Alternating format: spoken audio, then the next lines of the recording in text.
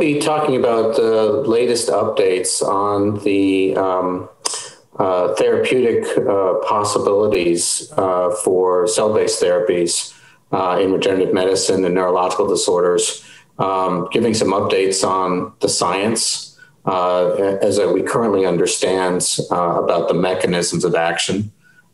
for different types of cell based therapies, and what are some of the latest clinical trials that um, are demonstrating the safety as well as some clinical trials showing some evidence that uh, some of these approaches uh, may actually uh, improve recovery uh, for patients with stroke and other neurological disorders. You know, there's been over 10 to 15 years worth of research uh, looking at um, various different uh, types of, of studies with respect to cell based therapies and animal models. Um, and I think we've learned a lot, you know, in that time period. Uh, many people originally had thought that perhaps um, cell based therapies uh, could be used to generate uh, new brain cells. Um, you know, and, and I think that, you know, what we've really come to understand is, you know, for those approaches right now that have gone forward to clinical trials, main mechanisms really are uh, more about um, trying to help the brain to heal itself. Um, so the concept here is reducing or changing the inflammatory responses after injury in the brain, as well as um, enhancing um, intrinsic repair uh, that can occur within the brain in and of itself. Um, so the brain does have capacity for repair after an injury like stroke, um, and cell-based therapies are helping to augment uh, those various different processes that are involved in repair.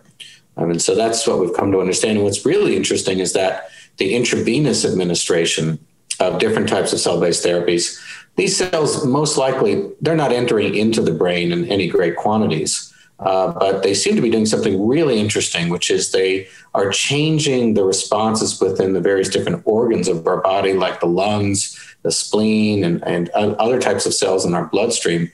And those effects uh, within our lung and our spleens and our blood cells, the effect on them, those tissues, that's having an impact on the brain. So it's a very indirect way of, of actually thinking about an effect on the brain. But you know, we can imagine that because there are immune cells, for example, within the body that are circulating up into the brain after an injury, those cells are being modified by cell-based therapies.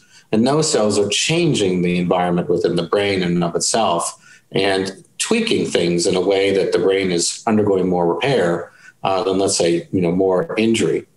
And lastly, uh, we've come to understand as well that cell based therapies are uh, releasing various different, very small, uh, nano sized uh, exosomes and microvesicles. They themselves actually could enter into the brain and re engineer tissues within the brain and, and change structure, uh, again, in the, in the direction of repair.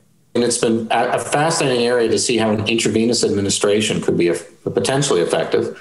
Um, and uh, but of course, the, the talk also does speak to other studies that are looking at more direct delivery routes, uh, intrathecal delivery routes, or even direct intracerebral injection as well, uh, depending upon the intention and the purpose uh, overall. So we we yet to know you know exactly what the optimal delivery routes are, uh, but it's really going to depend upon the intention and the goals, uh, you know, for you know for the specific disease in mind.